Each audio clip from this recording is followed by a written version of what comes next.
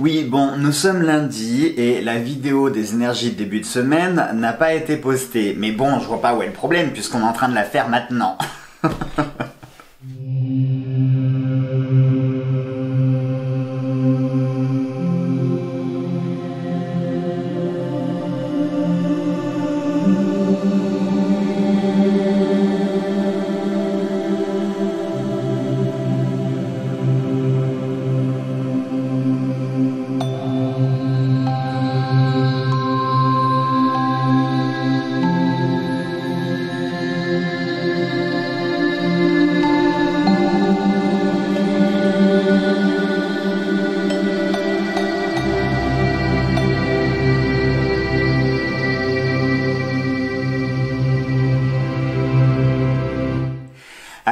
à tous mes chers amis et merci de me retrouver pour la vidéo des énergies de début de semaine. J'espère que vous allez tous bien et que vous avez passé un très bon week-end. Et pourquoi Pourquoi je n'ai pas été là ce week-end?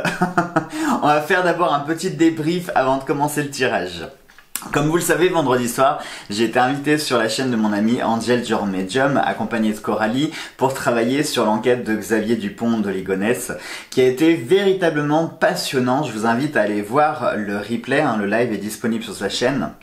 Vraiment, ça a été quelque chose d'extrêmement passionnant. Euh, il y a eu... Euh, une connexion, il y a eu quelque chose qui s'est fait et en même temps qui a marqué pour moi je sais pas, une sorte d'étape, une étape supplémentaire. Vous le savez, ça fait des semaines que je vous casse les pieds avec mon éveil spirituel. Et là, en fait, je sais pas, il y a, eu un quelque chose dans ma tête, dans mon cœur, dans tout, partout. Il y a eu un quelque chose qui fait que j'ai vraiment eu la sensation de me rendre utile. Alors je sais ce que vous allez vous dire, mais Jojo, tu es utile, ça fait trois ans que tu nous apportes du bonheur, de la lumière, du soleil, de ton sourire, de la joie de vivre, je sais, je sais, je sais, non je t'ai plus, non je t'ai plus, je sais. Mais... Mais je veux dire, faire les énergies du jour, c'est une chose. Euh, faire rire les gens, c'en est une autre. Faire des consultations, c'est encore autre chose. Mais là, quand vous êtes amené à travailler sur euh, des affaires comme celle-ci et que euh, vos, votre, comment on pourrait dire, vos capacités sont vraiment mises à l'épreuve et que vous parvenez à mettre le doigt sur quelque chose et que ce que vous avez perçu lorsque vous regardez, lorsque vous même euh, faites votre propre enquête après derrière pour eh bien pour euh, pour savoir si ce que vous avez perçu, ce que vous avez vu était réel, etc. Et que vous avez vu qu'effectivement c'était concret et que euh, il y avait quelque chose. Croyez-moi les amis, c'est un peu marquant et, et pour moi c'est voilà j'ai vraiment eu l'impression de de, de, gagner un niveau. Sauf que derrière j'ai eu une fatigue importante parce que euh, c'est la première fois que je travaille sur ce type d'affaires là. Il faut que vous sachiez un truc, les amis, c'est que tout ce qui est fait divers, c'est pas, c'est pas quelque chose qui m'intéresse, mais alors vraiment pas du tout en fait. C'est-à-dire que j'entends parler parfois des affaires, hein, et encore ça dépend desquelles. Il y, en a, je suis pas du, tout au courant, parce qu'il faut savoir que je ne regarde absolument pas la télé. Hein. Ça fait des années que j'ai décroché de la télé. Moi, je navigue plus sur YouTube, Amazon Prime, Netflix, tout ça. Euh, je regarde très peu la télé. Et euh, l'actualité, je la sais en fait grâce à une chaîne que je vous recommande, un petit jeune qui est vraiment bien, qui s'appelle Hugo Décrypte et qui fait un petit format quotidien où il nous présente, il nous résume l'actualité en quelques, en quelques points. Il est vraiment bien ce jeune parce qu'il est impartial, ce qu'il nous dit euh, c'est clair, c'est conscrit, c'est euh, il emploie des mots simples, euh, voilà. Et, et, donc du coup les actualités je les sais principalement par lui. Et sur l'affaire de Xavier Dupont de Ligonnès, j'avoue que bah, j'en avais entendu parler, sauf que c'était il y a 10 ans. Moi, il y a 10 ans, j'avais 24 ans. Très concrètement, j'étais dans d'autres choses à ce moment-là, donc c'était pas du tout une affaire. J'en avais vaguement entendu parler, mais c'est tout. Et là, je me suis dit, bon, Jojo, t'es quand même invité sur live, ce serait peut-être bien que tu saches de quoi tu vas parler exactement, que tu te sentes pas un petit peu largué. Donc, j'avais regardé une petite saga sur YouTube qui résumait l'affaire mais dans les lignes, quoi, dans les grandes lignes qui expliquaient l'affaire. Et euh, durant le live, en fait, je l'ai senti, il y a eu une connexion qui s'est faite, il y a eu des choses qui se sont faites, et j'ai pu euh, percevoir et sentir certaines choses que je vous invite vraiment à aller voir, et je vous avais d'ailleurs aussi partagé sur Instagram. Et après ce live, ça m'avait quand même assez perturbé, parce que quand on voit certaines choses, c'est quand même assez perturbant. Donc j'ai mené après moi-même ma propre petite enquête. Je suis allé euh, plus au fond des choses hein, parce que concrètement la saga, je l'ai regardée, je l'ai fini, ça devait être 7h moins quart. À 7h après moi je suis monté, j'ai commencé à lancer mon live, faire les réglages, discuter avec avec les filles. Donc très concrètement, j'avais pas le temps de, de, de, de mener l'enquête plus que ça. Je me suis dit allez, tu vas te lancer dans le move parce que moi c'est vrai que quand je fais une consultation ou quand je travaille comme ça, j'aime bien avoir le minimum d'informations pour, pour conserver d'une part mon libre arbitre, pour conserver mon objectivité et euh, sur ce que je vais dire, être sûr que ça sera pertinent. Enfin, voyez ce que je veux dire. J'aime en savoir le moins possible. C'est pour ça que je vous dis, quand vous me sollicitez pour des consultations, me dites pas grand chose. Vous, vous me dites juste que ce que j'ai besoin de savoir, mais vous m'en dites pas trop et voilà. Et, euh, et, donc durant le live, il y a vraiment eu euh, cette connexion qui s'est faite. Et lorsque j'ai mené après moi-même ma petite enquête derrière, où euh, j'ai eu accès donc euh, vraiment au dossier de l'enquête, les rapports, les photos, etc. Et que j'ai vu qu'il y a des tout ce que j'avais dit en live. Bah, ça corroborait quand même pas mal. Ça ça m'a ça m'a assez perturbé. Bon, voilà. Donc ça c'était pour le petit débrief. Donc sachez que pour le prochain, ça sera donc dans 15 jours, vendredi.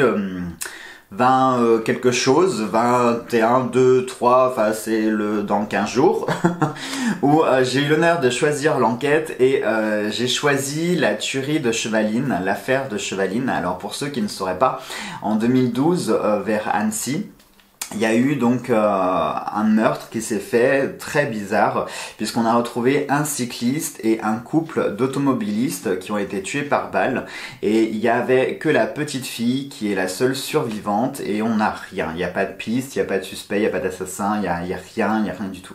Donc je me suis dit que c'était quand même une affaire assez intéressante et assez bizarre donc voilà, est-ce qu'on pourra apporter certaines choses? Je sais pas, on, on verra.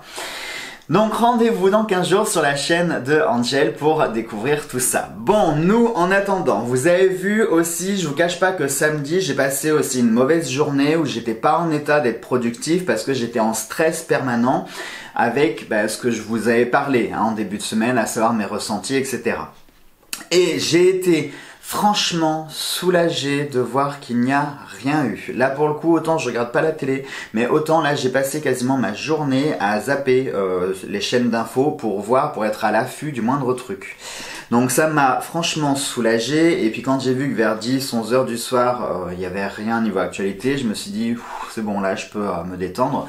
J'avais commencé à vous faire une vidéo là-dessus. Et puis franchement, j'étais tellement fatigué après mon live, après cette connexion, que j'avais aussi besoin un petit peu de, débrancher parce que les énergies vendredi soir étaient franchement fortes. Ça a vraiment été une épreuve qui a été euh, à la fois très enrichissante et assez éprouvante pour moi. Donc j'avais vraiment besoin de décrocher et, de débrancher un petit peu. Euh, puis Radio Eye, bah, je vous ai pas fait Radio Eye parce que comme je vous l'ai dit, j'attends d'avoir une vingtaine de questions pour vous faire Radio Eye. Donc du coup, je vous ferai samedi euh, prochain. Et puis c'était un petit peu court là. Je, venais de vous poster la vidéo. Franchement, c'était un petit peu court quand même euh, de, de rassembler tous les paramètres pour faire la vidéo le lendemain, quoi. Donc, euh, je vais quand même vous laisser la vidéo de ce pressentiment sur le 11 septembre parce que du coup peut-être que j'ai capté en fait euh, les, les, les, énergies de la date anniversaire entre guillemets parce qu'un anniversaire en principe c'est quelque chose de festif. Là c'est pas un truc festif très concrètement. Donc c'est pour ça date anniversaire j'aime pas trop quand on quand on parle de choses euh, de ce genre de choses là et je vais quand même vous laisser la vidéo parce que ça laissera quand même au cas où une trace euh, peut-être que on, permettra de pouvoir le décrypter plus tard parce que quand même vous avez été très nombreux en commentaire à me partager un ressentiment qui était similaire. Donc je me dis, ça peut pas être un hasard ni une coïncidence, parce que vous m'avez cité plusieurs youtubeurs aussi qui euh, avaient eu le même ressenti, qui avaient euh, visiblement vu aussi ou capté des choses qui étaient assez similaires. Donc je me dis, ça peut quand même pas être une coïncidence qu'on soit plusieurs dizaines, peut-être même plusieurs centaines à ressentir quelque chose.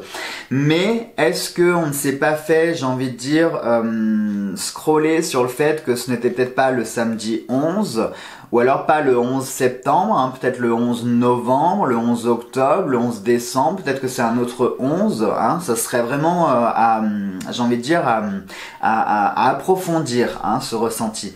Et puis ce ressenti, j'ai envie de dire, est-ce que ce n'était pas aussi une mise en garde sur le fait, faut pas oublier quelque chose, c'est que ce samedi, il y a quand même eu du coup les 20 ans du World Trade Center, il y avait les différentes manifestations pour euh, vous savez quoi. Donc par conséquent, la sécurité et la vigilance étaient euh, au maximum. Hein. Donc c'est vrai qu'en y réfléchissant, il était peut-être peu, probable euh, qu'il fasse quelque chose ce jour-là.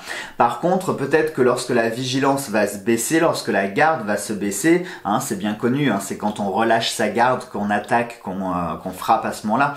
Donc est-ce que c'est à ce moment-là hein, que... Euh, je sais pas, on verra. Comme d'habitude, bien sûr, je ne le souhaite absolument pas.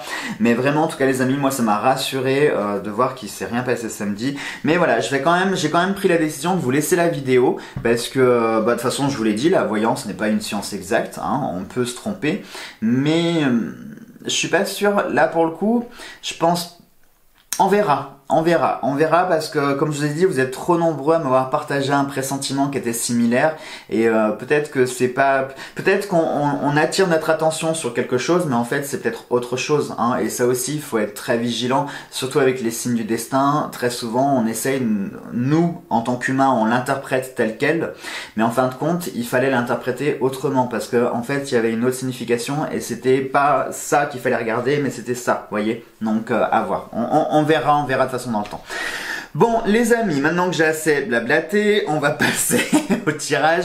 Aujourd'hui, j'avais envie de vous faire de la bibliomancie, euh, sachant que profitez-en parce que euh, là je suis en train de dégager tout ce qu'il y a sur les étagères euh, puisqu'il faut impérativement qu'on boucle les cartons parce que là ça commence à avancer à très très très très grand pas. Il y a encore plein de choses euh, qui restent à faire dans la maison. Je vous jure les amis c'est horrible. Donc ça sera la dernière vidéo de bibliomancie que je fais ici. Voilà. Donc petit instant nostalgie avec la petite larme comme ça qui coule Excusez-moi, je suis en train de faire ma minute de silence. donc voilà, ce sera la dernière vidéo euh, de Biblimancier que je ferai ici. Les prochaines seront donc dans la future maison. Hein. Alors, pour cela, je vais utiliser les livres oracles de Georgia Rossi Savas, à savoir le livre des oracles et l'oracle de l'amour. Euh, comme je vous l'avais déjà dit ultérieurement dans les anciennes vidéos, si vous voulez vous le procurer, celui-ci il est toujours disponible et à son prix d'origine, à savoir 14,90€. Par contre, celui-ci, l'oracle de l'amour, euh, il est difficilement trouvable, hein, très difficilement trouvable. On utilisera aussi mon oracle quotidien de Jericho Mandibure qui est celui-ci que vous pouvez trouver facilement hein, parce qu'il est sorti il n'y a pas très très longtemps. Hein. Et, euh, et d'ailleurs, petit aparté, Arcana Sacra doit en sortir un similaire. J'ai hâte, j'ai hâte, j'ai hâte, j'ai hâte. Mais euh, je crois que la date de sortie a été reculée, bah, vous savez pourquoi, hein, à cause de du rutabaga, on prononcera pas le mot, mais. Ceux qui ont vu la vidéo savent ce que c'est que le rutabaga. et on utilisera le grimoire des oracles pour notre prédiction directe. Et j'avais bien envie aussi d'utiliser euh, mon oracle mot à mot. Euh, puisque les mots font partie de la bibliomancie. Donc on va utiliser euh, ça histoire de, fournir une première base. Allez, c'est parti les amis, on y va tout de suite.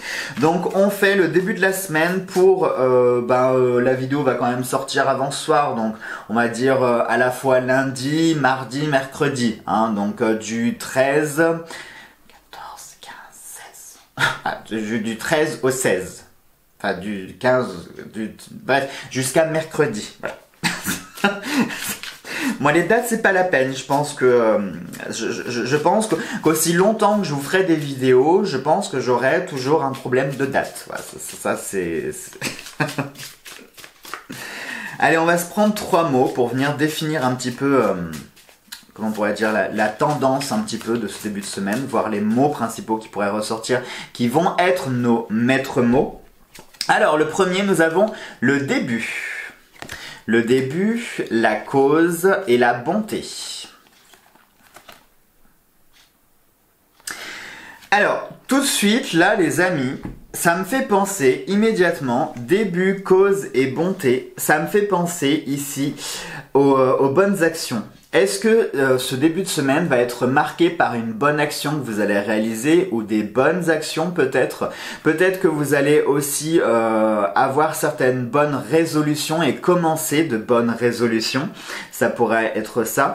Ça pourrait aussi marquer le début de quelque chose, euh, soit un nouveau cycle, soit quelque chose de nouveau. Vous avez vu depuis, ça fait quoi là? Ça fait une bonne semaine, 15 jours, ça doit faire une dizaine de jours qu'on est dans ces énergies qui, bah, depuis la rentrée en fait, depuis la rentrée, hein, vous l'avez vu, septembre, on est sur des énergies parce que j'ai l'impression de me répéter souvent là dans mes dernières vidéos où je vous parle de nouveaux cycles, de nouvelles choses, mais finalement c'est assez logique, c'est même très logique puisque euh, je tiens à vous rappeler que dans quelques jours nous allons euh, célébrer ma bonne, hein, donc le 21-22 septembre, qui est donc la fête des récoltes, qui est vraiment la fête qui marque la, fin de l'été, hein, puisque la prochaine après c'est Samhain. Donc on est vraiment là ici sur les dernières choses à faire, les dernières choses à récolter. Mais quand on récolte, hein, pour ceux qui travaillent la terre, vous le savez, une fois qu'on a récolté, euh, on n'attend pas euh, le printemps. Non, la terre, il faut la préparer. Hein. il faut la préparer pour l'hiver, il faut la préparer après pour le printemps. Donc il faut euh, tout déblayer, etc. pour repartir sur une terre qui est nette, qui est propre, où il n'y a plus rien, hein, qui est, j'ai le mot lissé comme s'il fallait lisser les choses. Et là, c'est exactement le même principe. J'ai vraiment la sensation que septembre, on est sur ce cycle où il faut lisser les choses. C'est-à-dire que si vous avez des choses à régler, c'est le moment de le faire. Et c'est aussi le moment pour vous lancer dans de nouveaux cycles, mais des cycles qui vous apporteront plus tard, pas forcément tout de suite, puisque concrètement, là, on arrive au contraire sur des énergies hivernales, donc c'est pas le moment de planter et encore moins de récolter.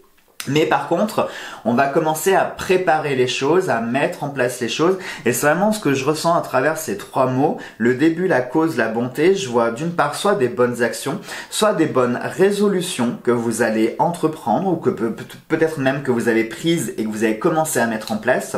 Ça pourrait nous parler aussi d'œuvres caritatives. Ça pourrait nous parler euh, d'associations. Ça pourrait nous parler vraiment de choses qui sont là pour vous faire du bien, comme si vous aviez vous aussi senti un appel euh, pour faire quelque chose de bien, pour véhiculer le bien, pour apporter du bien. Peut-être que vous-même vous avez pris conscience, vous avez peut-être eu un déclic, peut-être vous aussi vous êtes dans une phase d'éveil spirituel ou autre, et vous avez réalisé bah, que finalement votre vie n'était pas si mal et que vous avez envie d'aider les autres, que vous avez envie de partager des choses avec les autres, hein, comme si vous donniez, j'ai vraiment cette sensation ici de donner de sa personne euh, à titre euh, bah, gratuit, bénévole en fait, mais donner de sa personne parce que vous avez envie de donner de votre personne pour défendre une cause qui vous paraît être juste, pour quelque chose qui vous est juste, qui vous tient à cœur.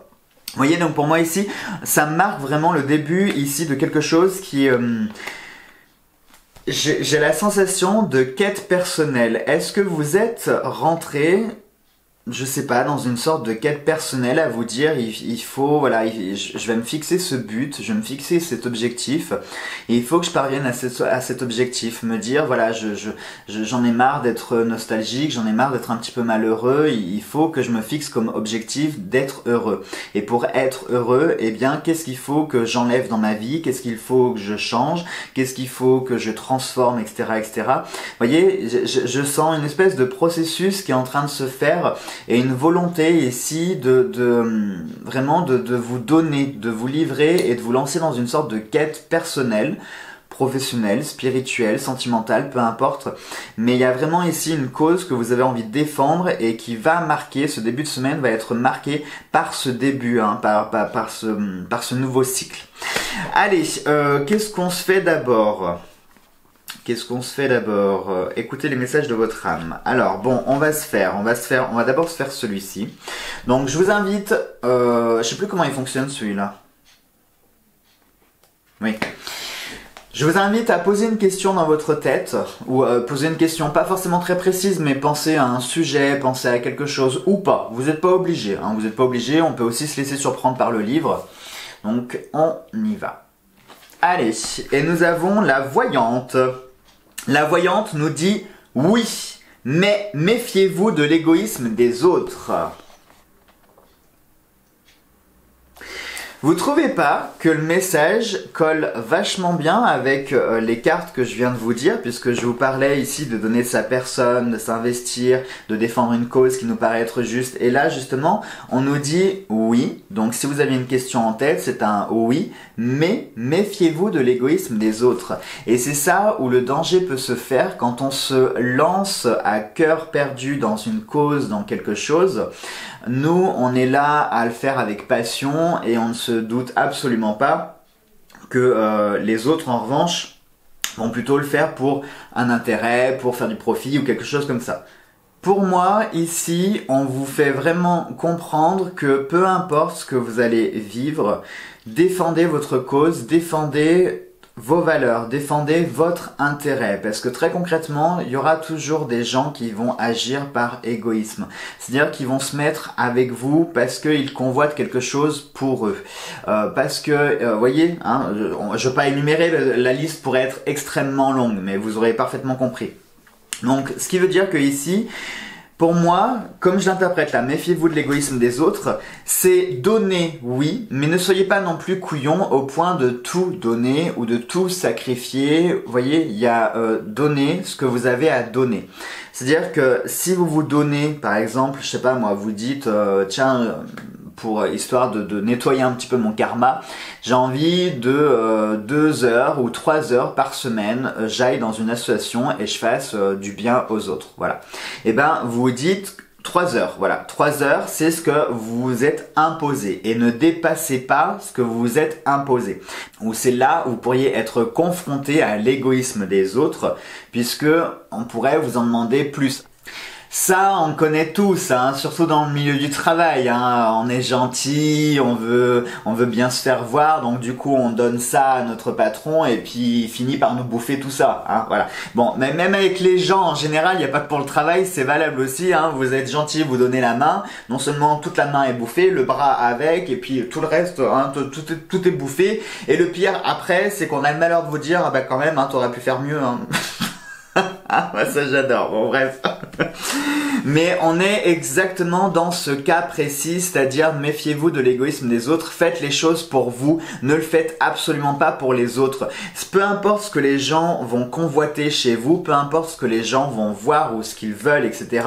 Vous, ce que vous allez faire sur cette semaine, vous le faites pour vous est avant tout et uniquement pour vous. C'est-à-dire que si vous avez envie d'aider les autres, oui, vous le faites pour les autres, mais vous le faites pour vous, pour vous sentir utile, pour vous faire du bien, hein, qu'on soit bien d'accord. Donc ce que les autres vont penser de vous, vous en foutez aussi. Et s'il y en a qui cherchent à obtenir des choses, pareil, vous euh, protégez, vous mettez une bulle, vous imposez des limites, hein, vous ne vous donnez pas non plus euh, sans compter. Allez, maintenant on va passer au sujet euh, sentimental. Nous avons le tarot. Vous avez choisi le 3 de coupe qui vous dit réjouissez-vous, on vous aime vraiment. Ah, bah, ça, ça, si, ça, c'est pas une bonne nouvelle, hein. Ici, donc, on nous parle d'amour. Alors, je sais que les célibataires, là, ils vont me dire, bah non, moi, il a personne qui m'aime. Bah, réfléchissez je parle de sentiments. Les sentiments, ce n'est pas forcément que l'amour, être en couple, hein, parce que croyez-moi qu'être en couple, c'est pas toujours drôle non plus. Donc, l'amour se vit par plein d'autres choses, par la famille, par les amis, par nos animaux, hein, parce que je crois que je, crois que de tous les êtres vivants sur Terre, s'il y en a bien qui nous donnent de l'amour de façon inconsidérable, c'est bien nos animaux. Hein. ça, ça, on a une grande leçon de vie à tirer des animaux qui eux, euh, voilà, sont plus humains que les humains, très clairement. Mais bon, c'est pas le sujet. Donc tout ça pour vous dire que l'amour est présent dans votre vie, il suffit de le voir, il suffit de le percevoir, il suffit surtout de... Euh, j'ai la sensation qu'il faut que vous sortiez un petit peu de ce que vous voudriez absolument avoir. On a tous des idéaux en tête, tout le monde, tous. On, a, on peut avoir des idéaux professionnels, on peut avoir des idéaux de carrière, on peut avoir des idéaux d'amour, de famille, etc. Moi je sais que pendant très longtemps, ça va vous paraître bête, mais euh, alors on n'est pas là pour étaler ma vie, on s'en fout, c'est vraiment pour citer un exemple. Mais quand j'étais plus jeune, pour moi, la, représentation de la famille, c'était la grand-mère, machin et tout. Alors certainement que moi je faisais une projection de ce que j'ai pas eu quand j'étais gamin, très clairement. Alors que non, en fin de compte, la famille, ça n'a rien à voir avec ça. Mais voyez, on est tous comme ça, on a tous plus ou moins des idéaux. Ou ne serait-ce que l'amour, hein. on est tous là à s'imaginer, ah, je voudrais que la première fois qu'on s'embrasse, je voudrais qu'il pleuve, et puis je voudrais qu'il y ait musique. Et vous voyez, on s'imagine tous parfois des scénarios. Et puis en fait, dans la vraie vie, ça se passe pas, ça se passe jamais comme on aurait voulu. Jamais, jamais, jamais.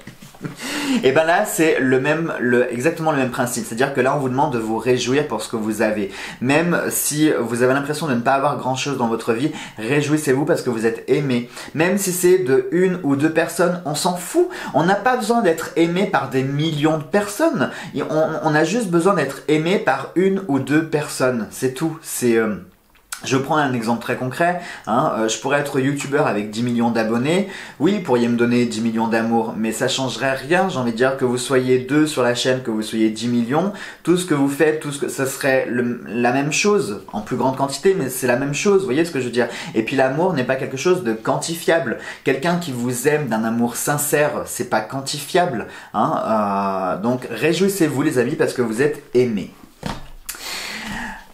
Qui veut dire aimer, dit veut dire que vous êtes aussi soutenu. Hein Donc comme on est dans un début ici de cycle de quelque chose, c'est peut-être aussi pour vous faire comprendre que vous serez soutenu dans ce que vous allez, euh, dans quoi vous allez vous lancer. Hein si vous vous êtes fixé un objectif, quelque chose de précis, qui dit amour dit que vous serez soutenu, que vous serez aidé hein, par, par vos proches.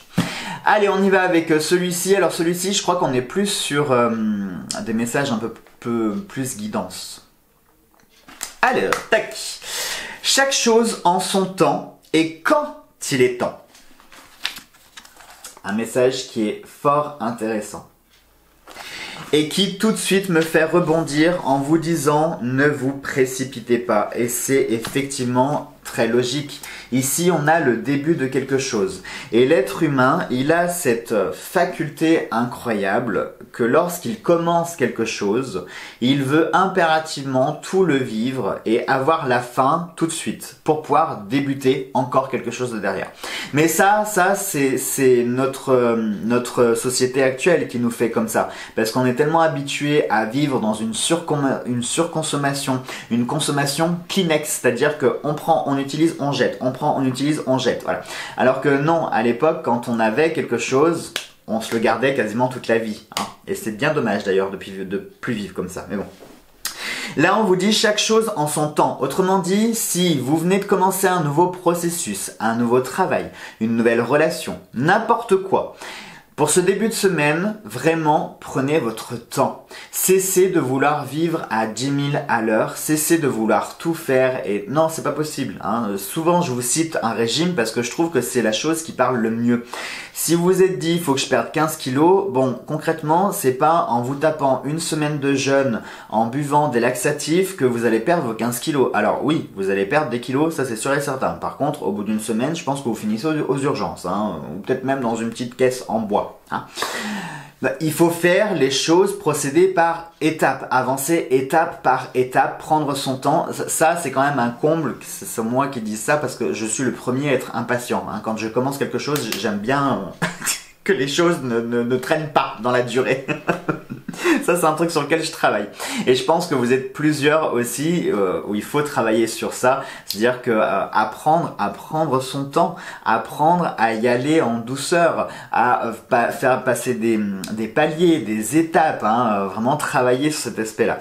Donc chaque chose en son temps. Autrement dit, pour ceux qui sont célibataires, bah, j'ai envie de vous dire que chaque chose en son temps. C'est-à-dire que vous ferez des rencontres, mais pas tout de suite. Si vous ne faites pas de rencontres dans votre vie, c'est peut-être qu'il y a des choses à travailler d'abord sur vous, sur votre vie. Peut-être qu'il y a une estime personnelle qu'il faut que vous travaillez, une image de vous-même, etc., etc.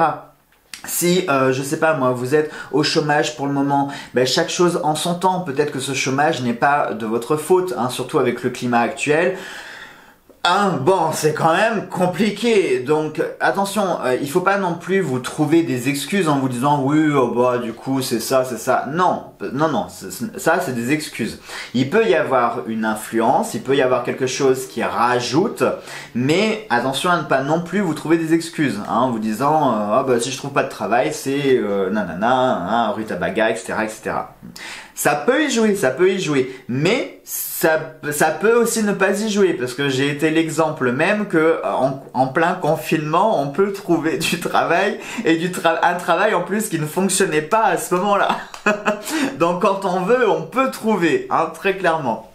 Mais voilà, tout ça pour vous dire, cessez de vous stresser, cessez de vous angoisser, chaque chose en son temps. Il y a toujours, et ça les amis, j'y crois profondément, il y a ce que j'appelle la grâce du moment. C'est-à-dire que même dans les cas les plus désespérés, et là je parle vraiment à titre personnel, même dans les cas les plus désespérés, quand on a l'impression qu'il n'y a, a, plus aucun espoir, qu'on est là, on est vraiment face à une impasse, on se dit punaise, mais comment je vais faire, comment, comment, comment, et là on sait plus, on commence vraiment à paniquer. Et pile à ce moment-là, au moment où on n'y attend vraiment pas, on a cette grâce du moment, on a cette solution qui tombe comme par miracle et qui vient régler pas tous les problèmes, mais une partie des problèmes ou la situation en question, vous voyez. Et pour moi, j'ai vraiment cette sensation-là. Tout vient à point à celui qui sait attendre. Et j'ai envie de conclure là-dessus. Donc prenez votre temps, les amis. Et, euh, et puis voilà. Allez, on va terminer maintenant avec euh, une petite prédiction directe avec le grimoire des oracles. Ce sera le soleil. Je le sens le soleil. Je sens le soleil.